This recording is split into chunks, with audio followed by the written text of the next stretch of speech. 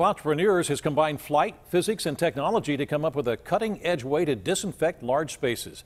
The company believes this new method could potentially get us back to life as we once knew it. And it is being done here in western Pennsylvania. Royce Jones explains how this technology works.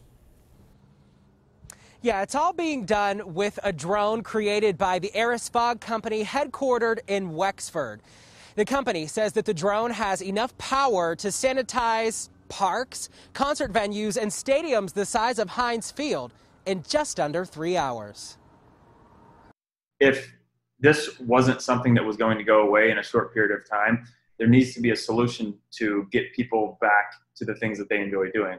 Aris Fog co-founders Nick Bruker and Justin Malunson may have the solution. A 50-pound MG-1S drone with the ability to spray disinfectant up to 20 acres an hour and have people occupying that space within three minutes. There's no room for error. You know, like human error could be an issue where somebody might miss something. This drone doesn't miss anything. The drone is similar to those used for fertilizing crop fields. It's totally autonomous and uses electrostatic technology, charging the disinfectant as it passes through the spray tubes.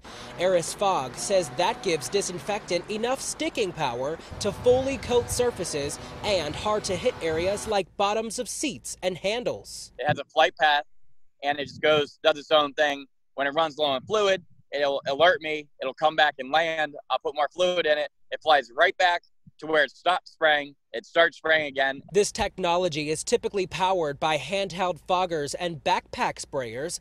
Aris Fog is designing similar products to be used inside schools and working on a partnership to use FDA and EPA approved disinfectant that protects against COVID 19 up to 90 days. I mean, if we can save a life, you know, 10, 20, 100 lives, I'm just saying this is, you know, this is going to be a very good thing for, you know, everybody right now.